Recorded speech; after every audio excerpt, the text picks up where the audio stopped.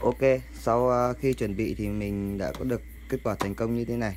Thì trước mắt thì mình sẽ test thử cho anh em. Đây là mình đang bật chìa khóa. Mình bật nấc 1 Đó, là cái đèn pha led này nó sẽ sáng. Mình bật thêm một nấc nữa là cái bóng ờ, L4 này nó sẽ sáng. Đó. Đấy, bóng L4 nó sáng đấy. Đó. Mình tắt đi một nấc Đó, thì bóng L4 tắt. Mà mình tắt đi một nấc nữa thì bóng pha nó mới tắt đó, tương tự như vậy thì khi mình bật lên, bóng pha nó sẽ sáng. Và tiếp theo nó sẽ là bóng L4 ok, vậy là một công tắc này mình sẽ chia được ra hai đèn. Đó, thì mình xin phép là mình sẽ hạ cái bóng này xuống. Nó đợi vướng ok, thì bây giờ mình à, xin phép mình sẽ chia sẻ với anh em như này. Thì à, vừa lễ ở cái clip trước ấy, thì mình có hướng dẫn anh em là làm và lắp một cái con à, dưa lê passing như này. Đó thì ở trên cái con L4 này đây là cái dây con L4 thì mình xin phép là mình cầm cái con L4 này. Cái dây con L4 đây. Thì một đầu của con L4 là cái dây dương dây màu đỏ của con L4 này. Thì các bạn sẽ đấu vào cái dây vàng của con dơ le. Đó. Dây vàng của cái cục dơ le. Một đầu của con L4 là cái cực dương của con L4 ấy, sẽ đấu vào dây vàng của con dơ le. Và một cái dây màu trắng của con dơ le mình luôn luôn làm dơ le là mình sẽ quy ước màu dây nhé khi mình ship cho anh em anh em cứ thế mà lắp. Thì cái dây trắng của con dơ le này, nó sẽ vào cái dây màu nâu sọc. Anh em nhìn rõ không ạ? Dây màu nâu sọc. Cái dây trắng sẽ đấu vào chân màu nâu sọc. Đó. Còn cái dây mát của dơ le, nó sẽ vào mát sườn ở trên xe. Nó sẽ làm dây màu xanh lá cây. Đây dây màu xanh lá cây. Dây đen và dây màu xanh lá cây. Còn cái dây đỏ một cục dơ le. Đây cục dơ le dây đỏ này. Thì mình có làm thêm một cái nút để bấm passing. Đó. Thì cái công tắc này thì anh em có thể là đấu ở trên chỗ này chẳng hạn, hay ở đâu do anh em thích. Đấy, nguyên lý hoạt động của nó như thế. Khi anh em bật đèn lên nó cái đèn tí này là sáng này đấy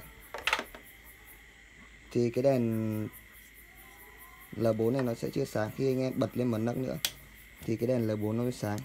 Còn khi anh em đang đi mà muốn passing bắt sinh để xin vượt hoặc là muốn xin pha cốt của cái xe ngược chiều ấy thì anh em bấm cái nút này. Đó, nó sẽ nháy như này. Hoặc ví dụ ban ngày anh em không đi đèn mà muốn à, passing để xin vượt chẳng hạn thì anh em chỉ cần bấm như này là đó, super passing luôn, nháy nhòng nhòng. Cực chất. Đó sáng chói lòa luôn. Công nhận cái cây L4 này sáng kinh người, xé nát ban đêm luôn. Độ sáng của nó thật kinh khủng. Đó, thì anh em à, mua một cái rắc còi như này. Một cái công tắc còi với anh em hàn cái dây này. Hoặc khi à, mình gửi cho anh em mà muốn mua một cái bộ combo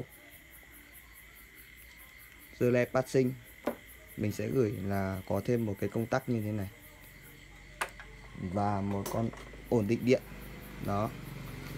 Nếu như anh em mà muốn uh, có thể là đấu đề mi để mình sẽ xin phép mình đá đề mi cho anh em đó. Như thế này. Thì uh, alo cho mình. Số điện thoại 0165 614 6888 mình sẽ ship hàng toàn quốc theo hình thức COD khi anh em mà đã chạy hai cái bóng như này là 80W thì nguyên lý hoạt động ở trên cái xe zin này 80W cái bình ắc quy nó sẽ không đủ cấp điện để cho nuôi được hai cái bóng này. Đó, thì anh em sẽ bị yếu điện bình. Thì khi anh em muốn điện nó khỏe lên thì anh em dùng, nên dùng thêm một con ổn định điện như này. Bên mình bán chỉ có 50k thôi, ship hàng toàn quốc anh em nhé. Đó. Thì ở cái clip lần này thì mình sẽ hướng dẫn anh em là lắp lên xe. Cái cây là 4 này và một cái đèn pha led nó có chế độ passing đó. Và dùng một cái công tắc. Đèn pha xe zin này thì nó có công tắc hai chế độ. Thì anh em chỉ cần dùng mấy công tắc không cần phải chế cháo gì. Đó. Thì khi anh em làm xong thì những cái đầu dây này anh em nên giấy băng keo nhé băng dính nhé quấn cẩn thận vào. Đó, rất đơn giản thôi. Thì à, mình à, xin phép chia sẻ lại với anh em. Cái dây màu vàng để hướng về cái phía tay ga này, thì anh em có thể cắt ra hoặc rút rác ra, đấu vào cái dây đen ổ khóa hoặc cái dây đen bất kỳ ở trên hệ thống điện. Cứ dây đen là sau ổ khóa, điện zin nhé, cứ dây đen sau ổ khóa là dễ là dây dương, anh em câu vào. Và một cái đầu dây, nếu như anh em dùng passing thì một cái đầu dây của con à, công tắc còi này hoặc công tắc đề thì anh em sẽ câu vào đây. Một đầu thì vào cái dây màu đỏ trên dơ le, đó tiếp đến là cái rắc ở chỗ này. Thì ở đây là xe của mình là rắc liền. Nó sẽ có một cái dây màu nâu và một cái dây màu nâu sọc trắng. Thì điện zin ở trên xe thì dây nâu sọc trắng, thì đầu bên này sẽ là dây nâu sọc trắng.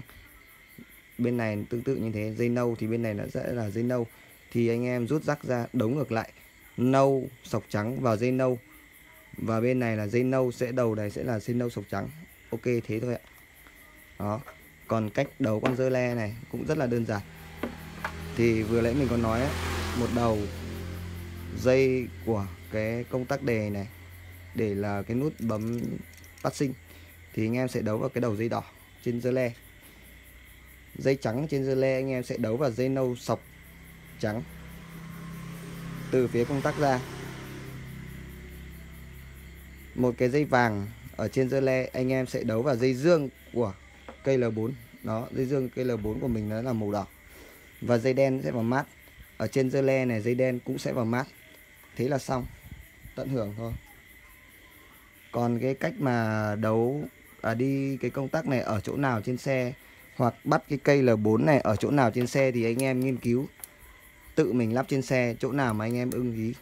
Thì cái nếu mà mình sẽ chia sẻ hết về cái cách lắp từng cái chi tiết này một thì nó rất là dài dòng đó, thì anh em à, sẽ tự nghiên cứu xem là mình thích lắp ở chỗ nào trên xe. Có thể là nhiều bạn này lắp trên chỗ gương này này.